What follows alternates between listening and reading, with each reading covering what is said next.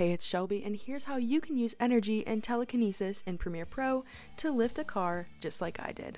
To start, you're going to need a stock video of a car. I found one that was rotating from Adobe Stock, and you're going to use Color Key to get rid of that background. Now, keyframe position and rotation to make the car look like it's hovering off the ground. Apply Lumetri color to make the car match the background a bit better.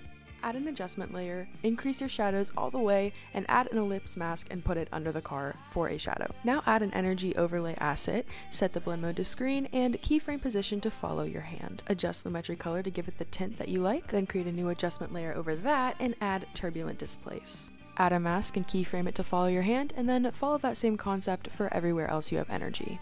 I keyframed a mask behind me to reveal the energy in the Premiere Pro logo, added some dirt and debris overlays, some sound effects, and essentially became a superhero thanks to Adobe.